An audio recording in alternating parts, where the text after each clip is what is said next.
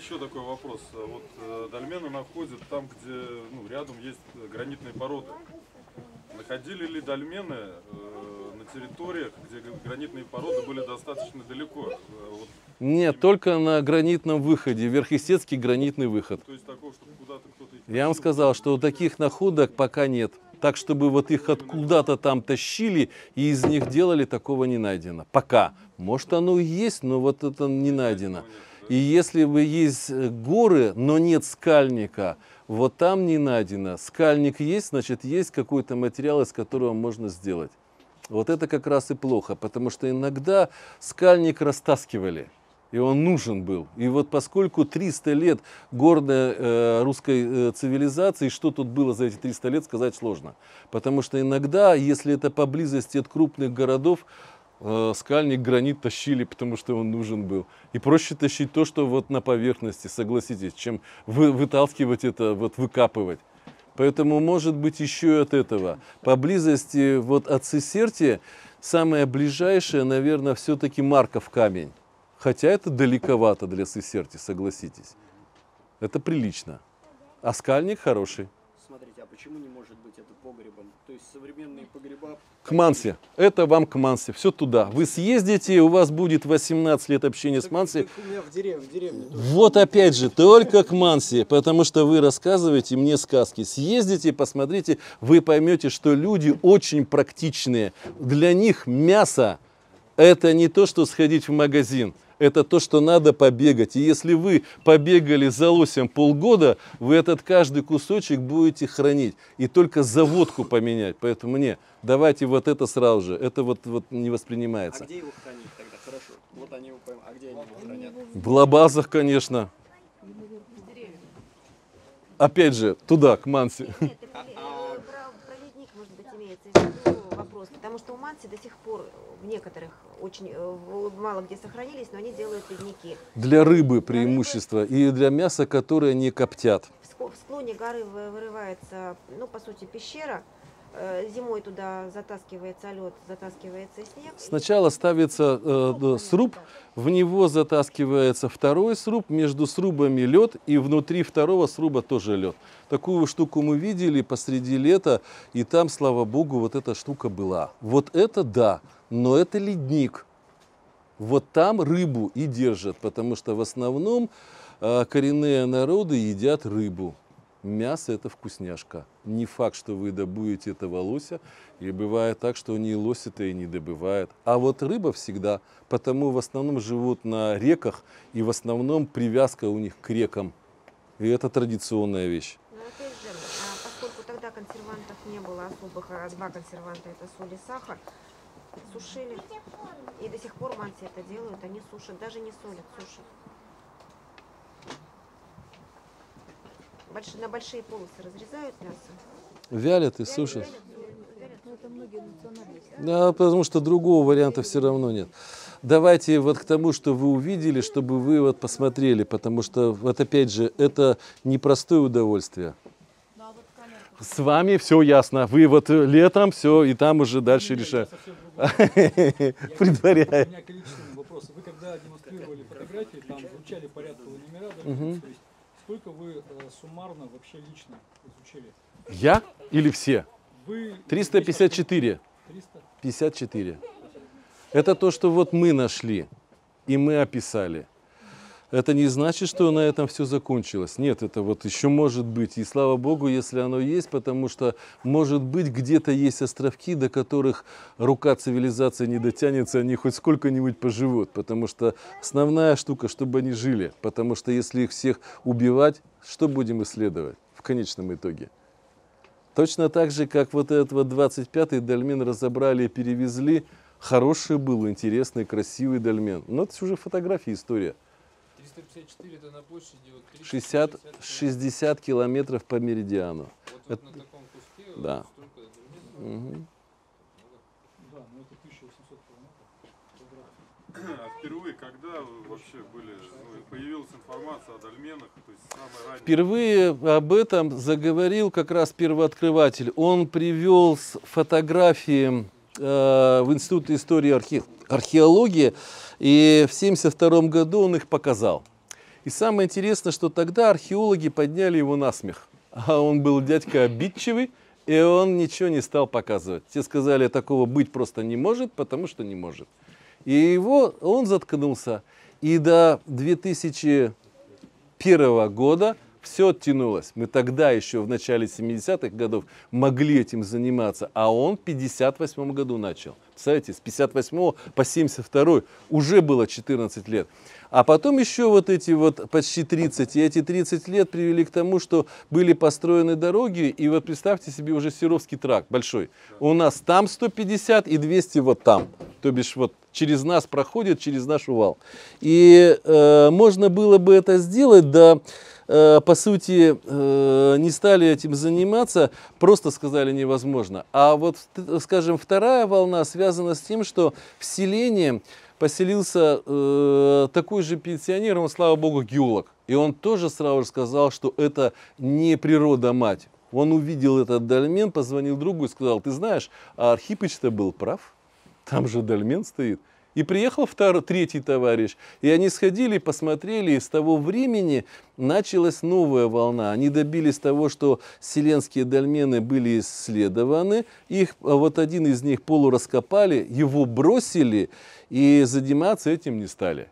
А потом вот с 2003 года мы присоединились, мы поймали как раз Анатолия Архипыча вот на последнем этапе, потому что он прожил еще немного. А вот э, эти дедушки-геологи, по-моему, они уже все поумирали. Лет уже прошло много. Вот это, э, скажем, такая хронология, что называется. То есть э, 70-х годов. это. 72 года. Если Наталья... И еще вопрос. Вот вы сказали, что в Европе дольменов вообще как таковых не обнаруживали. В Европе? В европейской части России. Не, не, аккуратнее, потому что мне обязательно скажут, что там они есть.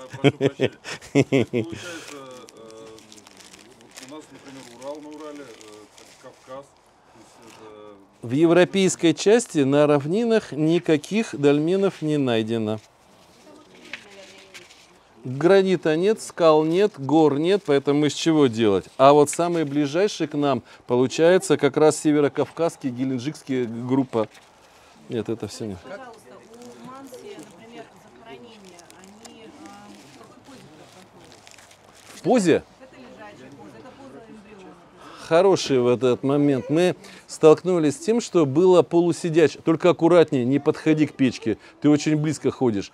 А, сидячее было захоронение. Правда, мы попросили нам показать, и нас специально поводили кругами, но не показали. Поэтому велика вероятность того, что это была очень любопытная вещь и старое захоронение. Речка называется Атымья, то есть река людей. И там захоронений много, там несколько стоянок. И они официальные, то есть архе- археологи раскапывали. И то, что там было, э, могло быть такое захоронение именно вот такого типа, оно вполне логично. Но мы столкнулись с такой штукой только одной. Чаще всего это вот было скажем так, линейное захоронение. Но видите, у них э, мы столкнулись с тем, что иногда точно так же, как деда Петю Хандыбина захоронили дважды. Один раз официально на кладбище, а второй раз в Пауле у себя. Вырыли яму большую, положили туда нарту, сложили туда лодку и э, кинотаф. С тем, чтобы он там в том мире плавал, там охотился, все делал. Поэтому вот э, традиционно у, вот, у тех манси, которых мы сталкиваемся, то есть мы говорим про современное состояние, у них вот именно такое, обычное. Но велика вероятность того, что еще вот совсем недавно у них была кремация. Потому что, опять же, были случаи, когда закопать нельзя. Куда его девать? Есть же дикие животные. На самом деле, потому что камера 90 на 110, э, ну, для нас даже современных небольших людей это маловатое расстояние, ну, как бы пространство вообще ни о чем. Совершенно согласен с вами. По крайней мере, я бы не хотел вот, вот быть э, там захороненный. И Я своей группе говорил, что у Анатолия Архипича Бодрых есть вот этот опубликованный рисунок. Вот он и есть. Вот так он и рисовал его. Видите, прямые углы и прямая буковка «П». Э, Не уверен, что у нас здесь есть вот этот вот рисунок. Он, скорее всего, э, я говорю, в уральском следопытии опубликован. Вот, э- а, нет, есть, вот, извиняйте. вон этот вот рисунок и опубликован. Видите, один к одному. Он был рисовальщиком очень классным, поэтому, скорее всего, ему, собственно говоря, вот надо верить, потому что, ну, он это видел. Слово дольмен? Толмен, каменный стол. Каменный стол? Угу. С кельтского языка. Ну что вы прямо, дольмен это исключительно русское, а все народы говорят долмен. От слова толмен, каменный стол. Какие-либо коллеги у вас за границей есть, которые так Был совсем интересный проект, но он, а, представьте себе, перестал жить. Коллеги с северо-запада получили предложение про, проконсультировать коллег с восточного побережья Соединенных Штатов Америки. Нам достался вот как раз раздел, связанный вот с этими постройками. Они нашли очень любопытную деревню. И был сайт, он очень интересный. Единственное, что он, наверное, у нас только, э, вот скажем, остался вот отсканирован, то есть мы его себе сохранили. Отсканированные вот эти рисунки, которые они делали. И э, там очень любопытная деревня. То бишь она каменная, с каменными стенками и каменными перекрытиями. Вот это любопытно. Но мы э, вот это посмотрели, это не наше, мы туда вот не влезали, мы проконсультировали только вот по тем типам, которых мы видели. Не. Очень похожи. не наши, это в каком плане? Ну, мы не занимались просто вот этими каменными деревнями, потому что мы не знаем, что это такое, мы их не видели. Подобные вот эти, ну не каменные деревни, но что-то похожее есть также вот на Карпатах, то есть это... Мы раз не видели, не знаем. Ну, как и говорить. Может быть, это вот какая-то Не знаю, вот, вот, которая вот, э, говорить о том, чего не, не, не знаешь, ну как сказать. Как вы относитесь к версии, что их использовали как инкубатор? То есть там выращивали эмбрионов, В тайге эмбрионы, кто выращивать будет, чего будет выращивать. Нет, вы, Вы знаете, что э, если это была цивилизация, то надо сначала найти признаки такой цивилизации, чтобы вот это доказывать. Раз это не доказано и цивилизации такой нет, то мы, скорее всего, говорим о тех, кто здесь жил. Вот почему о том выстраивать гипотезу, а не подтверждать гипотезу, которую хочется. Тут много желающих подтвердить свою гипотезу. Найди. Докажи, тогда будет разговор. А если нет, тогда этого нет. А вы видели на Анапе возле Дольмена а, нашли плиту? То есть плит- ну, такая плита метр на два, и там получается лунки, вот такие лунки, и между ними а, канавки. Дело в том, что, видите, а, вот эта вот геленджикская группа, она сделана из материала, который называется песчаник. Сделай, что хочешь. И сделай дырки в стенках, сделай закругление. В граните это сделать очень сложно. Потому вот они и здесь такие плиту, грубоватые. плиту Ну, Видите, опять же, вот тут граниты, и тут, может быть, оно и есть, надо раскапывать. Причем раскопки не должны быть вот такими разовыми. Здесь пытаются все сделать нахрапом. Пришли, нашли, класс, все. Каждый археолог хотел бы иметь свой собственный аркаим. Ага. Вот если нет аркаима за ним, э, понять, нужно ли рекламировать и считать это туристический объект, или не надо рекламировать. И пришли к выводу, что, скорее всего, не надо, потому что археологи сказали, нам это, по большому счету, стоит больших денег, потому что мы должны во все реестры занести, то есть на бумажку, а кто будет непосредственно вот там их охранять, а они не знают. И зачем тогда это нужно? Они так и так не сохраняются, и так не сохраняется. Смысл-то всего этого ни о чем. А уж тем более это хоть как-то доказано, а вот эта штука. Что предположительно, по вашему мнению, на 240 градусах? Видите, 270 градусов это запад, солнце заходит. А, а? Заход солнца. Ну, близко, скорее всего, к этому, потому что странное удивление. Азимут другого вот ин- интерпретации я не знаю, как сделать. Зимой летом солнце там раньше, позже садится. Опять же, вот видите, это надо смотреть и вот э, надо проводить исследования. То есть мы просто взяли и сориентировали, вот и все. То есть ну, нужны хорошие исследования. Мы за это, да, да. А, ни один из тех, которые вот мы на фото посмотрели, которые мы видели в жизни, это не размеры человека.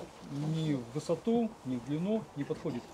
Но что, если а, здесь ходили, двигались, там, а, передвигались, в общем, одним словом, существа, которые меньше человека.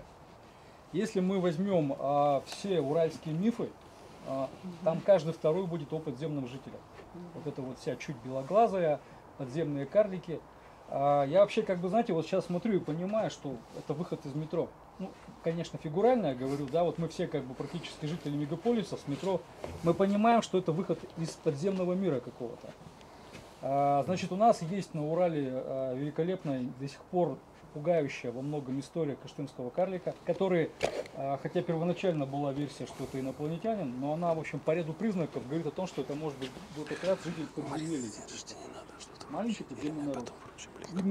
Э, говори- простите, сейчас перешел на европейский язык, э, дольмены, значит, они как раз а, могут, могли служить какими-то подземными выходами. Поскольку мы не увидели еще ни одних раскопок, которые бы уходили вглубь, там, скажем, на 10 метров, мы не можем ручаться, что а, здесь нет никаких э, тоннелей, шахт, которые уходили бы вниз. Поэтому я, конечно, пока в качестве версии все это говорю, а у нас подтверждений нет. Но в качестве гипотезы, которую нужно проверять, я считаю это очень жизнеспособно. Ну не очень легко, но физически можно. Ну, предположение было такое, что да, другие формы жизни, вот как шары, которые многие видят, потому что, ну, это не действительно не люди какие-то сумасшедшие рассказывали. Я вот э, слышал истории от военных, летающих, ну, каких-то шарах, или если, например, другая форма жизни, энергетическая. Поэтому я спросил, то есть проводили ли э, Не, заключения не было такого. на там, энергоемкость, потенциал, потому что, э, не знаю, пьезоэффект, да, э, пьезоэффект, то есть а как- какими э, физическими, там, электрофизическими, магнитными свойствами обла- обладает гранит, опять же. Поэтому да, также, поэтому почему бы и нет. Я за, за первое, вот исследовать хорошо, сохранять надо. Это самое главное. Потому что потом исследовать будет нечего.